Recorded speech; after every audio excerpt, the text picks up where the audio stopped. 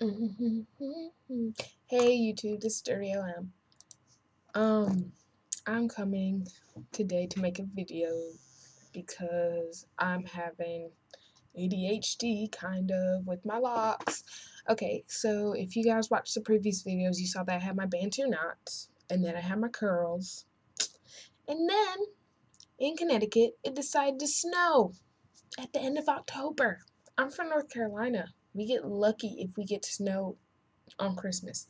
So it decided to snow. Of course, I was like, oh, snow, my hair, snow on my hair, snow melts, curls fall. So my curls weren't looking great.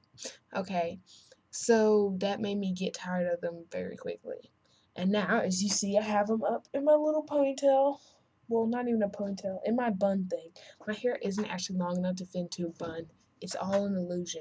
If you would like to see how I make myself have a I know it looks really sloppy, but that's because I've been messing with it and stuff. But, um, let me get some lighting.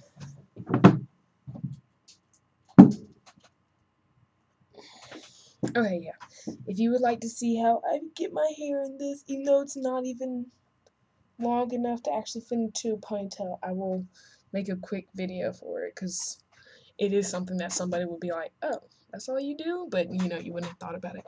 And this scarf, I got it from Mexico, so no, you can't get it from Target, sorry. But I think it's really cute, and orange is my favorite color.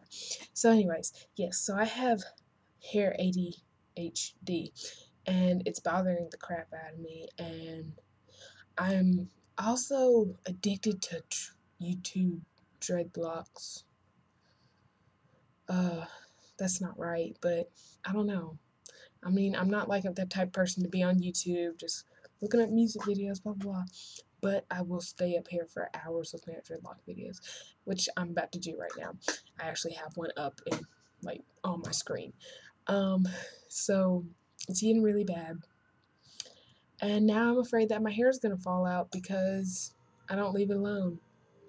If you can be a person who has longer dreads than me, which my locks like my front one doesn't even comes down to about right here. So if you have like shorter length ones and you were like this like styling your hair like every week um or so and you can pledge for me that no your hair's not going to break off that's great. And i'm not trying to tell my subscribers don't ever style your hair but I know for a fact that when you do it very, very often, you know, your hair can start thinning out. That's just like, you know, retwisting it too often. Um, it helps to have it really wet and saturated when you style it, but definitely don't like style it every day.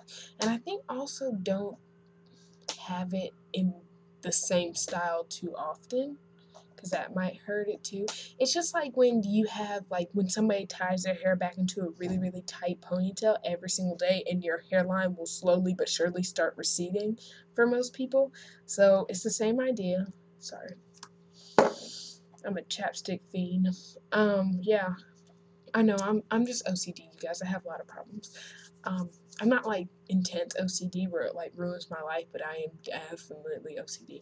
Um, I'm sorry, this video is terrible. yes, so if you can comment on my video, tell me about any more information you can give me about styling your hair and how it leads to breakage.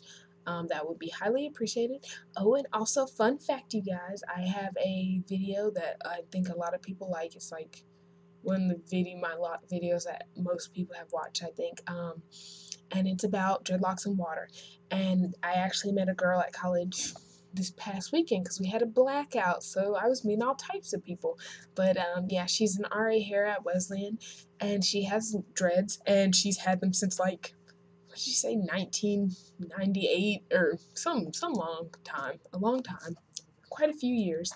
And she used to swim like every single day, and obviously every single day who's going to wash their dreadlocks every single day? So she didn't. And the only thing the chlorine does, obviously, is a chemical. It's bad, but I guess she could wash it like a week every two weeks still. But it just slowly but surely dyed her hair. Like it bleached her hair. So at the tip she has a little bit of brown and I, I'm pretty that's just from her like swimming, not from her actually dyeing her hair. So beware of chlorine because it will bleach your hair. So obviously it is bad for you. So, um, but that's that's what I can say about pool water. So watch out for that. Okay, so that was just a little side note. Um, but let me know about styling my hair, and um, I'll try my best for people like me who have the shorter locks and who watch YouTube constantly because they're trying to find lock videos that fit to your hairstyle. I'll try my best to get more um, styles out there. In fact, after I look at all these videos, maybe I'll find a style and I can do it for you guys. Okay, um, once again, if you want me to do the bun thing, just let me know, leave a comment below, and you guys have a wonderful rest of the day. Thanks for watching.